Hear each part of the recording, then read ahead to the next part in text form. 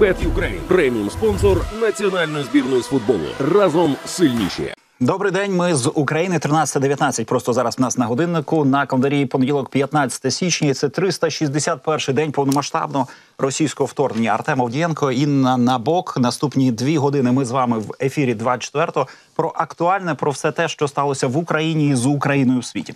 І знаєте, чесно кажучи, якщо я зараз вам виглядаю трохи притрушеним, то я таким направду і є. Бо від учорашнього вечора, Інна, не знаю, як ти, але я постійно оновлював стрічку новин.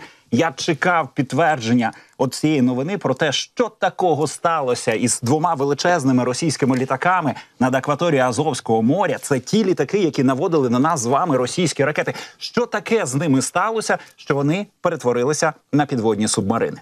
Ось про це зараз і розповім детальніше, тому що абсолютно погоджуюся з тобою, Артема. Я думаю, від учора всі абсолютно українці моніторять стрічки своїх новин е, в соціальних мережах, а також в різних джерелах інформації, бо так усім нам хочеться цих гарних новин. Тож далі Я- про це й поговоримо. Я направду боявся постити цю інформацію. Це повідомлення Всі в своїх чекали. соцмережах е, в Фейсбуці.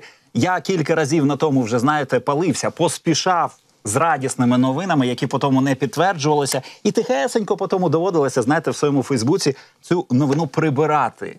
От так само в мене було учора з цими А-50 Іл-22. Я не вірив, але дуже хотів мати тому підтвердження. І сьогодні від генерала Залужного ми тому підтвердження отримали. І про це поговоримо далі, тому що дійсно підтвердження вже є. Тож таки збили. Що відомо про два військові літаки Російської Федерації А-50 та Іл-22.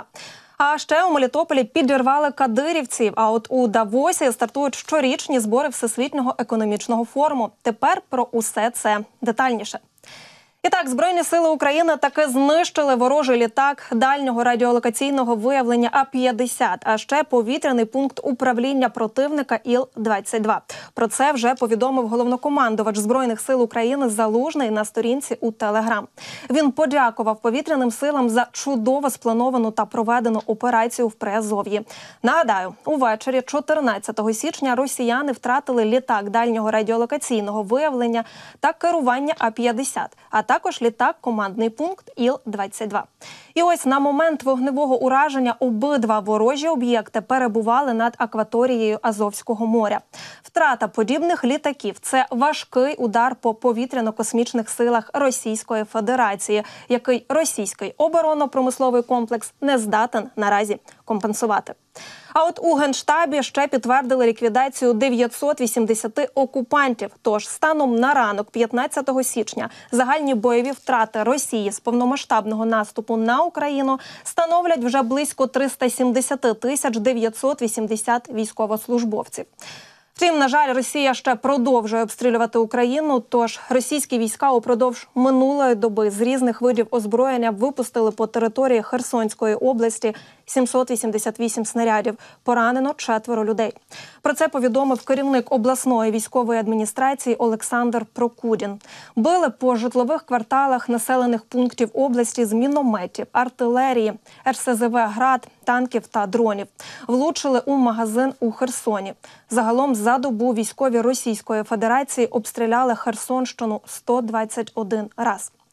А вже сьогодні вранці російські військові обстріляли пункт базування авто екстреної медичної допомоги у Станіславі на Херсонщині. Пошкоджена спецтехніка та, на щастя, люди не постраждали. Їдемо далі, адже Чернігівщину та Сумщину ворог за минулу добу обстріляв 14 разів. Обійшлося без постраждалих. Завдали ударів минулої доби російські війська і по двох районах Харківської області, унаслідок чого пошкоджень зазнали підприємства та житлові будинки. А через детонацію залишеного загарбниками вибухового пристрою поранення отримав цивільний. А ще вночі окупанти вдарили по Марганцю, що на Дніпропетровщині. Пошкоджені два п'ятиповерхових та стільки ж приватних будинків. Понівечені магазин, аптеки, господарські споруди, газогони, а також лінія електропередач. Без світла наразі все ще залишаються понад дві тисячі родин. Загиблих і поранених станом на зараз немає. А от у Мелітополі сили опору підірвали окупантів разом з технікою. Головне управління розвідки Міністерства оборони України повідомило, що вчора, 14 січня, у тимчасово окупованому Мелітополі пролунав потужний вибух. Внаслідок проведеного силами українського опору спеціального заходу був підірваний автомобіль російських загарбників. І разом з московським позашляховиком ураження зазнали четверо окупантів. Прилеглі до місця події вулиці перекрили і приїхало, до речі, декілька автомобілів з медиками. Утім, за попередньою інформацією, лікарі. Знадобились не всім, бо точна кількість безповоротних і санітарних втрат ворога все ще уточнюється. Втім, в свою чергу також повідомляється, що Служба безпеки України затримала вагнерівця, який готував удари Російської Федерації, що мали знеструмити Київ. Він отримав завдання прибути з Білорусі до Рівненської області для коригування повітряних атак Ерефії по енергетичній інфраструктурі України. Проте вагнерівця було затримано на гарячому. Деталі повідомив речник Служби безпеки України Артем Дегтяренко. СБУ затримала вагнерівця, який готував удари РФ, що мали знеструмити Київ. Служба безпеки під час багатоетапної спецоперації затримала бойовика із угруповання Вагнер, якого російська воєнна розвідка, більш відома як ГРУ, закинула в Україну для проведення диверсій. Він отримав завдання прибути з Білорусі до Рівненської області для коригування повітряних атак РФ по енергетичній інфраструктурі нашої держави.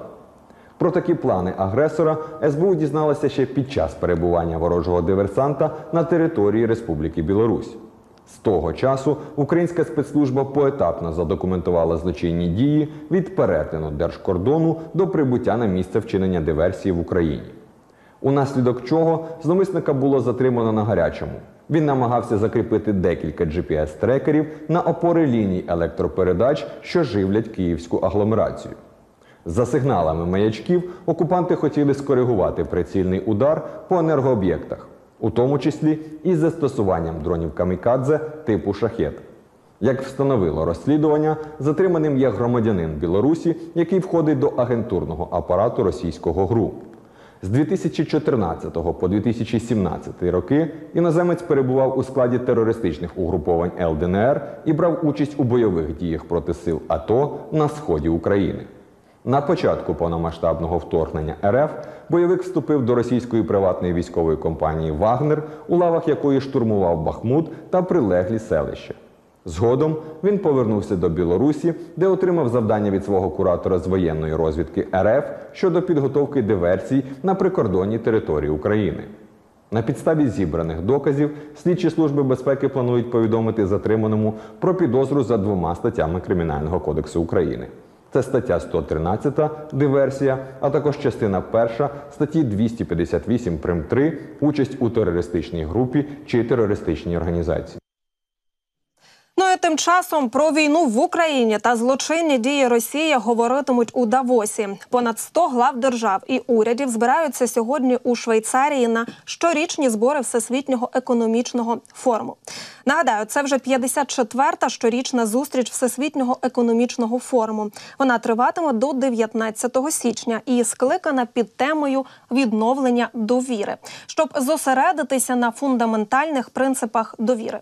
І ось участь у форумі візьмуть понад 100 представників урядів з усього світу, всіх основних міжнародних організацій, а також тисяча компаній-партнерів форуму. Ну і звісно, лідери громадянського суспільства, провідні експерти, сучасне молоде покоління, соціальні підприємці та засоби масових інформацій.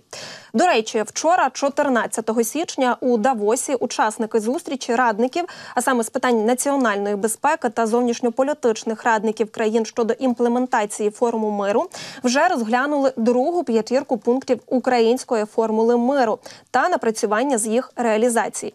І ось як заявив керівник офісу президента Андрій Єрмак, українська делегація в Давосі теж працювала над п'ятьма пунктами української формули миру. А це виведення російських військ, відновлення справедливості, екологічна безпека, недопущення ескалації та підтвердження закінчення війни. Крім того, на зустрічі обговорили питання продовольчої безпеки та гуманітарних проблем. Також Єрмак наголосив, що українці ніколи не приймуть замороженого конфлікту.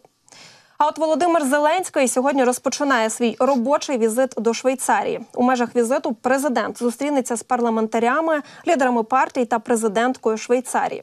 Крім того, президент України візьме участь у всесвітньому економічному форумі в Давосі та проведе низку двосторонніх зустрічей. До речі, організатори Всесвітнього економічного форуму анонсували, що Зеленський візьме участь в одному із заходів вже завтра, 16 січня. Зеленський виступить зі спеціальною промовою на панелі досягнення безпеки та співробітництва у фрагментованому світі. І знаєте, далі ще трохи про безпеку, але вже про безпеку суден та свободу судноплавства у Червоному морі.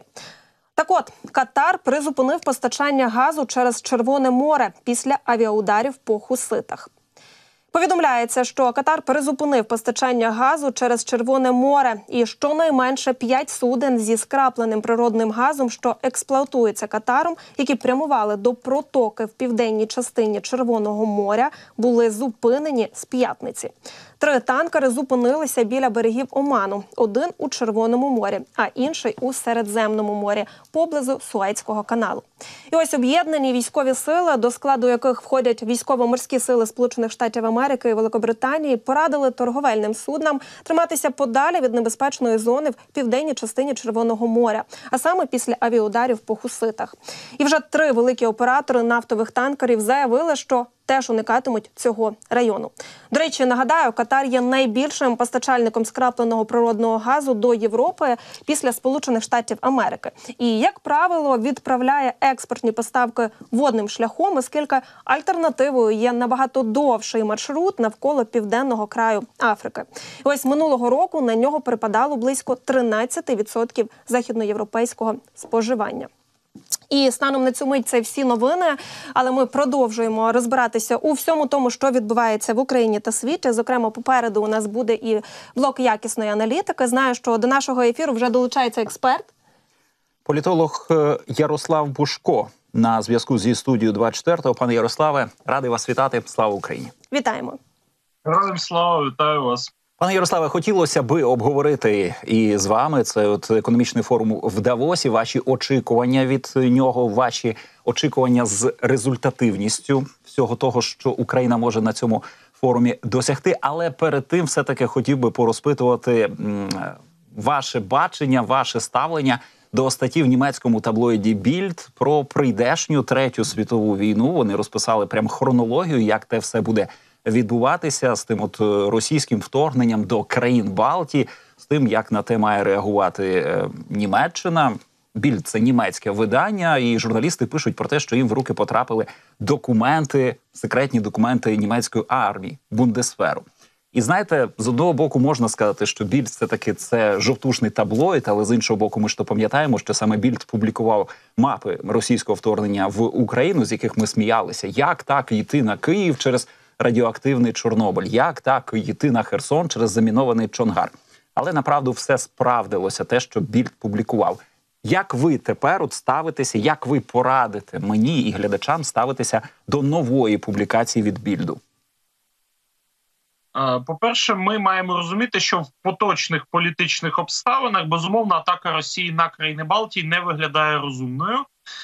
Силу того, що це буде означати суттєве відтягування російських сил, причому по суті найкращих, наймобільніших, ті, які здатні ще вести якісь спритні наступальні бойові дії, е, там високомобільних десантних військ та інших, на відверто кажучи, абсолютно іншу ділянку фронту. Тобто, в нинішніх політичних обставинах це виглядає не досить реалістично. Однак, ми маємо підкреслити той факт, що а е, відбувається певне це накалювання навколо Балтії. Ми зараз побачили за останні кілька місяців. Кілька дуже важливих заяв, які скоріш за все вже вилилися в управлінські кроки, про те, що Росія суттєво нарощує своє угруповання е, в Ленінградському військовому окрузі. Тобто, це якраз той, який межує з країнами Балтії, і очевидно, в разі нападу буде такою базою е, для проведення оперативних бойових дій. По-друге, політичні обставини протягом наступного і подальших років можуть цілком собі змінитися, тому що я би не розглядав історію в країнах Балтії якось дуже ізольовано від ситуації в Азії. Так, ми побачили кілька таких дуже показових маркерів, що далі відбувається загострення протиріч між Сполученими Штатами і Китаєм. І уявимо собі, що, наприклад, Китай дійсно запланував вести бойові дії. Що на цей випадок е, він хотів би від своїх союзників? Принаймні, щонайменше, щоб вони скували е, сили НАТО на інших ділянках, не даючи можливість сприяти тим чи іншим чином е, Збройним силам США та Тайваню. Так, тобто я цілком собі припускаю, що у разі нападу або підготовки нападу Китаю на Тайвань може відкритися європейський фронт війни в Балтії з метою якраз відтягування сил, тому що якраз таки, коли е, ось цей е, спусковий гачок глобальної конфронтації буде вже натиснуто, то зрозуміло, що Росія не може бути ніяким кращим чином е, Китаєм використана.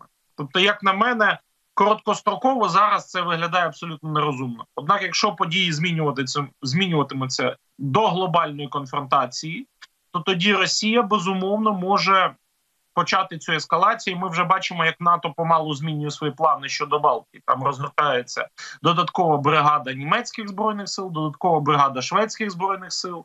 І це так само показово, що е, все більше саме європейські країни починають розміщувати контингенти в Балтії, тому що існує така загроза, е, що частково американські збройні сили будуть змушені бути перенесені на інший театр воєнних дій у разі загострення.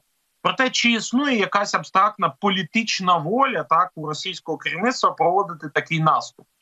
Ну я думаю, по-перше, що усі сторони виходять з тієї точки зору, що застосування ядерної зброї воно так і залишиться такою абсолютно опціональною річчю на оста... от абсолютно на останній випадок, і це значно збільшує ймовірність використання конвенційних збройних сил. Пане Ярославе, але якщо можна, хотів би попросити е, вас е, спрогнозувати реакцію міжнародної спільноти у разі, якщо все таки подібне станеться, те, що описує німецьке видання Більд на грудень 24-го року. Про що я перекажу глядачам, що Кремль, скориставшись тим, що е, в Сполучених Штатах Америки в той момент будуть перевибори президента, якраз в самому розпалі, тобто цивілізований світ лишиться без лідера, і американська армія найпотужніша в світі. Е, армія НАТО лишиться без верховного на той момент головнокомандувача. Вони скористаються тим моментом, щоб захопити цей от сувальський коридор. 100 кілометрів е, кордону між Польщею і Литвою. Е, з одного боку цього коридору сателіт Російської Федерації Білорусь. З іншого боку, ця от ракова пухлина Європи, Калінінградська область, і що росіяни під приводом, ну я не знаю, якоїсь миротворчої операції з трибуни ООН Небензя візьметься розказувати, що вони змушені, мовляв, від Білорусі піти пішки до Калінінграду, щоб там когось замирити, якихось умовних зелених чоловічків. Що у жодному разі це не є вторгнення в Польщу і Литву. Що це направду миротворча місія буде брехати Небензя з трибуни Організації Об'єднаних Націй. Сполучені Штати в той момент будуть без лідера.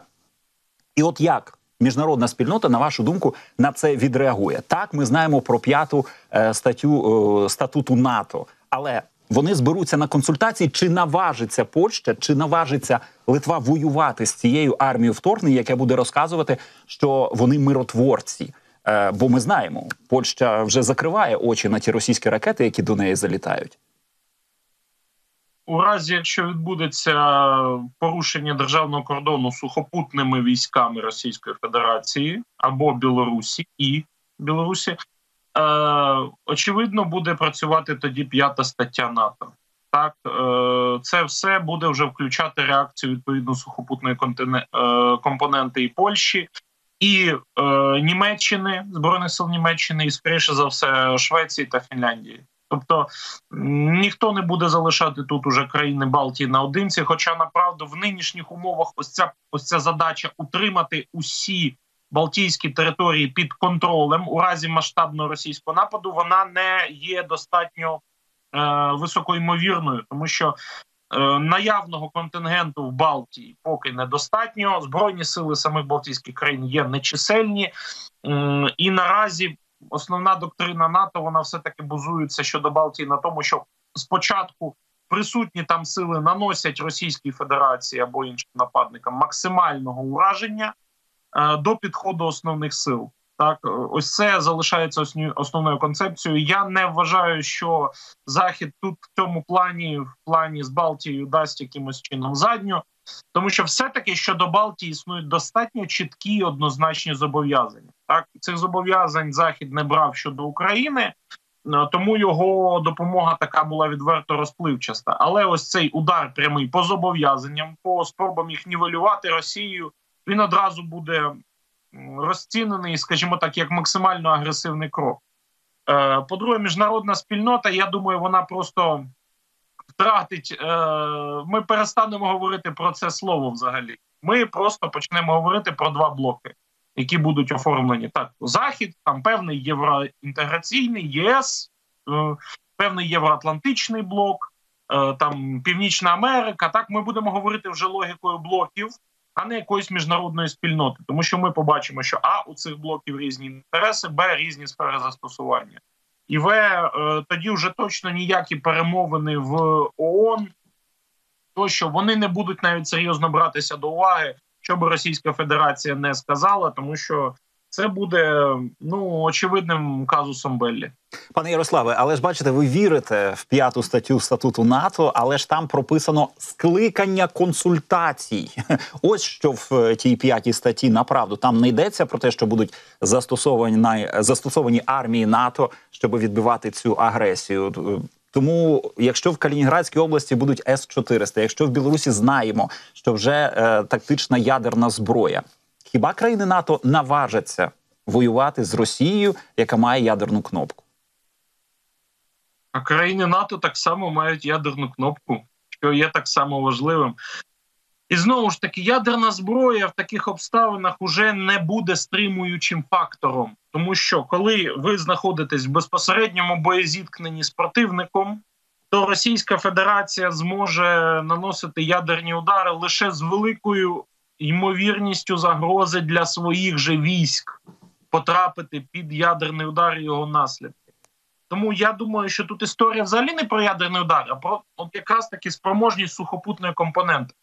Зрозуміло, що консультації скликаються, тому що армія будь-якої країни НАТО не може просто на свій розсуд застосувати зброю е, проти іншої держави, бо це скатування до війни, так і консультації тут випо, мабуть виконують таку роль, знаєте, як сурогат Ради національної безпеки і оборони при президентах. Коли Росія захоплювала Крим або починала війну на Донбасі, то ми теж скликали спочатку Раду національної безпеки і оборони, але це не означає, що ми потім не збиралися застосовувати війська. Консультації це просто такий правовий внутрішній механізм, який дає порядок е, розуміння, як хто має визначити правила і подальші плани застосування бойових частин. Зрозуміло, що в цій е, ситуації, якщо вона дійсно станеться, країни НАТО вони будуть змушені так чи інакше підтримувати ті зобов'язання, в яких вони зберігаються. В силу того, що жодна з європейських країн, мабуть, окрім Франції, наразі не може забезпечити повністю свою безпеку, якщо ми повністю виключаємо НАТО як фактор. А виключення НАТО як фактор це почнеться лише з цього з денонсації зобов'язань і зниження їх у ціні, коли всі побачать, що вони можуть не працювати. Е, Пане Ярославе, я хочу уточнити. Скажіть тоді, будь ласка, чи не здається вам, що саме таким чином, якщо Росія таки і вирішить напасти на одну з країн НАТО, вона і хоче це продемонструвати неспроможність НАТО діяти злагоджено, швидко і просто знаєте, вкотре показати, е, що Путін в принципі може все, і що він нікого не боїться, і це в принципі основне. Він просто хоче знову продемонструвати всьому світу, що проти нього немає такої сили, яка б могла його зупинити. Я думаю, це історія не про продемонструвати, тому що продемонструвати можна значно дешевшими засобами. Е, І Росія час від часу все-таки провадить інші види війни проти Європи, і час від часу навіть досягає певних тактичних успіхів. Е, Просто в цьому сенсі ми можемо опинитися в становищі, де А. Росія буде скута як найтіснішими зобов'язаннями перед Китаєм, які вона не зможе не виконати. А Європа буде скута тісними партнерськими зобов'язаннями із Сполученими Штатами.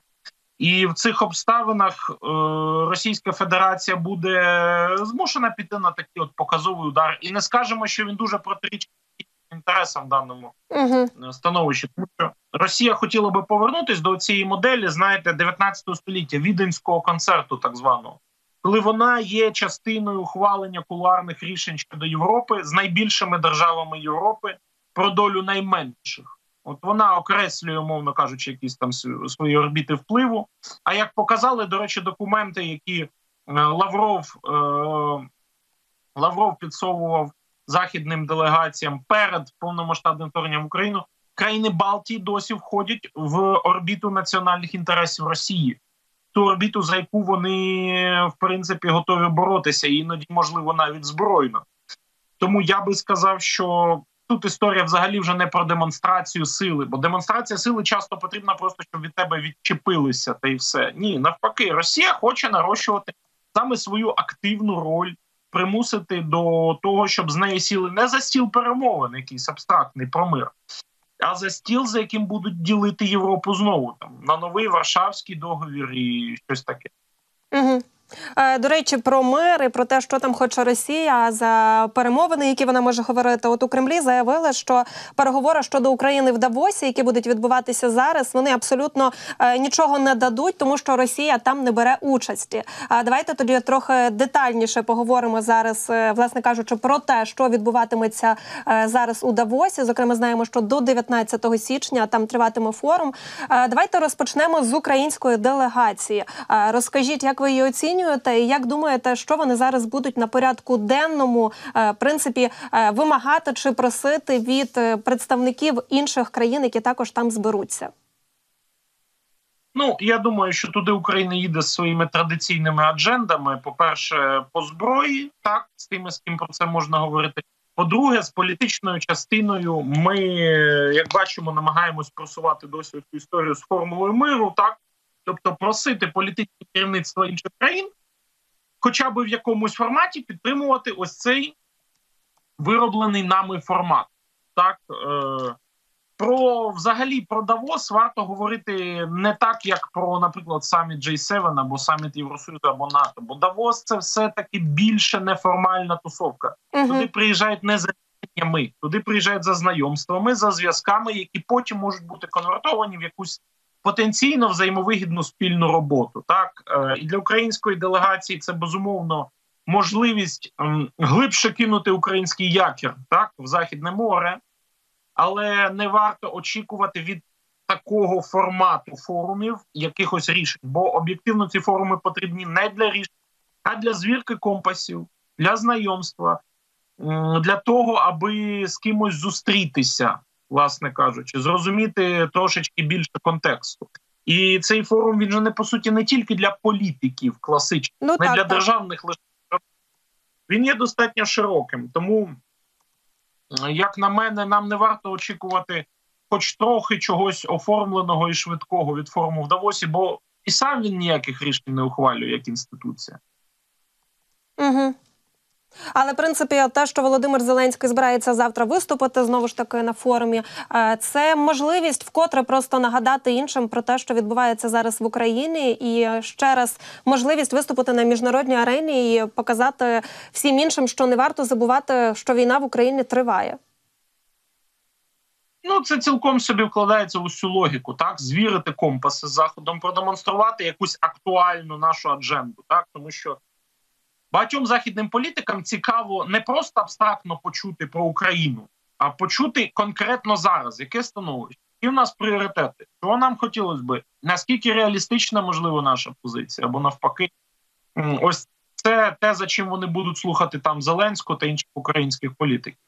Як на мене, участь якраз таки в неформальних заходах для України значно важливіша зараз, тому що в цих умовах, коли ми бачимо дедалі більше відмови, так якоїсь е, з боку там певних західних кіл від е, такої рішучої політики, певних, можливо, республіканської партії кіл, тощо певних європейських політсил, зміну векторів, ми маємо працювати не згори. Це не політики формують ці консенсуси, які утримують е, да, становище. Ми маємо працювати на рівні аналітиків, експертів, науковців, культурних діячів, екологів, навіть так, тому що війна має неймовірно екологічні сліди, правозахисників. Тобто на цьому середньому рівні там і формується реальне уявлення про поточний стан політики, з якого потім уже на цих вищих, якби майданчиках, політики якби відбудовують свою далі ланцюжок думання. Тому нам потрібно, скажімо так, більше працювати саме з неформальними інституціями, туди, куди не їздять е, президенти. Там треба з'являтися українцям. Пане Ярославе, а ваші припущення, якщо можна, щодо е, контактів президента Зеленського з е, владою Швейцарії? Чому про це питаю? Тому що от е, були припущення, що у разі, якщо нам не вдається домовитися з великими альянсами, на кшталт НАТО чи європейської спільноти, то варто нам налагоджувати безпосередні контакти з кожною окремою країною НАТО або ж е, членом європейської спільноти. От щодо Швейцарії, які в нас в тому перспективи з ними досягти якихось додаткових домовленостей? Ми знаємо про позицію Швейцарії, ми знаємо про її нейтральність. Ми пам'ятаємо про те, як Швейцарія забороняла використовувати її зброю, складові її зброї. У протистоянні з Російською Федерацією ми знаємо, що нам цікаві і ті російські гроші, які зокрема Путін ховає, Путін і путінська еліта ховають по швейцарських банках. Наскільки великі перспективи в цьому з офіційним Берном досягти домовленостей? Ну, по-перше, найголовніша проблема в тому, що для конфіскації коштів недостатньо просто політичної волі політичних керівників. І я безумовно певна, що якраз таки в діалозі Швейцарію переважає саме ось ця тема про способи і методи конфіскації російських коштів, і вона буде тривати з усіма країнами, де російські кошти у великих обсягах присутні протягом 2024 року. Е, для Сполучених Штатів, Британії і Канади рішення про конфіскацію коштів є значно легше технічно, тому що в них інша система права прецедентного права, яке допускає значно ширші можливості тлумачень тлумачень, заснованих на моральних судженнях тих, хто ухвалює і коментує ці судові рішення. Для Європи, і, зокрема, Швейцарії, для держав, взагалі, з романо-германською системою права континентальною, значно важче насправді буде досягти цього рішення в силу того, що як ми розуміємо, кошти були досить добре захищені юридично, е, правові аспекти не сильно змінилися внутрішньоєвропейські за цей час війни і просто так політичними рішеннями досягти конфіскації коштів стає значно важче, але ми розуміємо, що європейські компанії будуть працювати над цим. Тут, як на мене, важлива не просто наша позиція чи спроба якось донести наші ідеї до Швейцарії, а радше найняти хороших юристів, які мають досвід роботи в швейцарських судах, міжнародних судах і в судах країн Європейського Союзу. Ось це буде мати для нас вирішальне значення у справі конфіскації коштів ЄС, тому що ми бачимо, як Росія до боротьби за ці кошти готує. Угу. До речі, пане Ярославе, скажіть, як ви ще ставитеся до вчорашньої заяви голови міністерства закордонних справ Швейцарії, який заявив, що наразі Китай має бути залучений до зусиль, спрямованих на припинення війни між Україною та Росією, і наголосив на тому, що саме Китай зараз відіграє у цьому дуже важливу роль. Що він мав на увазі? Очевидно, те, що він хотів би, щоб Китай долучився якоюсь активною позицією, але проблема в тому, що Китай ця ситуація абсолютно не хвилює Отож. в широкому сенсі. Тобто у Китаю дійсно є якась оформлена позиція у вигляді його кроків, але вона саме свідомо була оформлена таким чином, щоб вона нікого ні до чого не зобов'язувала, була мало придатною до реалізації, була такою про все хороше і бажане для Китаю, тому що а Китай від ослаблення України нічого не програє. Б. Китай від ослаблення Росії теж нічого не програє, і навіть має дещо більші козирі для заходу всередині Росії зараз. І має як ніколи податливе російське керівництво, яке готове до будь-яких компромісів з ним. Тому переривати якимось чином для Китаю цю поточну ситуацію, виходити з цього вигідного для нього тактично статус-кво, ну не виглядає досить розумним. Тому, скоріш за все, ми не дочекаємося якихось активних зусиль Китаю по зміні позиції Російської Федерації зсередини. Хоча для цього у Китаю насправді важелі є. Угу. Пане Ярославе, дякую вам. Артема. Дякую. Ярослав Бушко, політолог міжнародник, був на зв'язку зі студією 24 каналу. 13.54 маємо на годиннику. Понеділок, 15 січня, 691 день повномасштабного російського вторгнення. І я не втомлююся хвилюватися і переживати ті свої відчуття радості, які я маю від учора щодо того, що Збройним силам України вдалося поцілити ці два величезні російські літаки. Ті літаки, які наводили на нас з вами російські ракети. Чесно кажучи, я досі не можу в те повірити. Я дуже втішений, що ми спромоглися збити цей А-50 і Іл-22. Маємо тому підтвердження від генерала Залужного. Але І я, я більше, до речі, зараз Артема додам, тому що маємо ще одне підтвердження. Ось щойно командувач повітряних сил Микола Олещук також подякував усім, хто планував, організовував і брав безпосередньо участь в операції зі знищення ворожих літаків окупантів. І він так дуже знаєте феєрично і красномовно написав: нині Азовське море чисте як ніколи.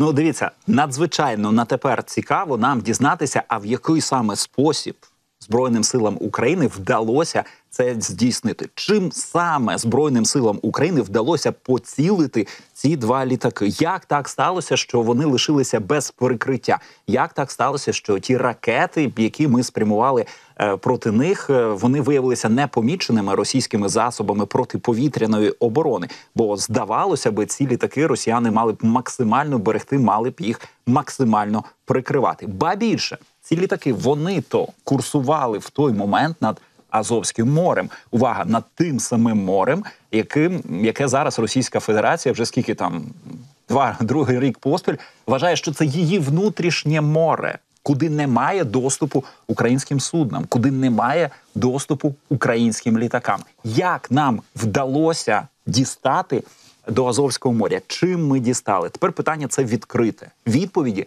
на це запитання ми не знаємо. В Київ припущень дуже багато, в тому числі і вкидів від е, самих росіян. Вони взялися розказувати, що мовляв у жодному разі це не українці ці літаки збили, а мовляв, це friendly fire, що це самі росіяни ці літаки поцілили. Нащо вони подібне брешуть? Нащо вони на себе беруть провину в збитті цих літаків? Ну зрозуміло, їм так простіше. Їм простіше знайти ЦАПа від Бувайла серед е, російських ракетників, їх обвинуватити в тому, що вони випадково спрямували свою російську ракету в російський літак, який не зміг від тієї ракети захиститися, аніж визнавати, що це українці в якийсь спосіб спромоглися в цьому так званому внутрішньому російському морі збити два літаки А-50 і Іл-22, які в той час над тим морем були прикриті і російською авіацією, і російською протиракетною обороною, яка там е, в тому регіоні розгорнута і максимально мала бути насичена е, протиракетами. Але прогавили, не змогли, не змогли захистити, а українці змогли те збити. Чесно, мене переповнюють емоції. Я ж кажу, я вже більше дуби, ну реально на взводі. Мені дуже хотілося би знати, як нам це вдалося. Звісно, я розумію, що ймовірніше про за все правди ми не Ми не дізнаємося, але ми можемо поговорити про це з експертами військовими. Зокрема, ми можемо мати певні припущення. Я думаю, що упродовж наступної інформаційної години ми будемо з тобою це робити. Ми зможемо поставити запитання військовим експертам, е, зможемо поцікавитися щонайменше, а яким же чином це дійсно могло стати реальністю. Бо розуміємо, як ти вже сказав, що росіянці вони швидше будуть е, визнавати це за свою помилку, ніж е, все ж таки скажуть, що це українці. Але тим не менше, українці сьогодні всі радісно бажають вічного польоту російським літакам. Так, оце от побажання е, вічного польоту браття. Ну це росіяни пишуть одне одному. Ми цитуємо і тішимося, що тепер цей от А-50 – це підводний лайнер, який до ракетного крейсера Москва долучився. І тепер Кобзон співає, зокрема, і цим от е, льотчикам російським тим от асам. Ну але ми тішимося, що все-таки здалося е, вдалося нам цей А-50 збити. Чому тішимося? Я вже кілька разів казав, що саме цей літак і наводить на нас російські ракети, і таких от літаків, як цей от А-50, направду в росіян їх не так багато. Їх взагалі-то приблизно 9 штук в росіян усього то було.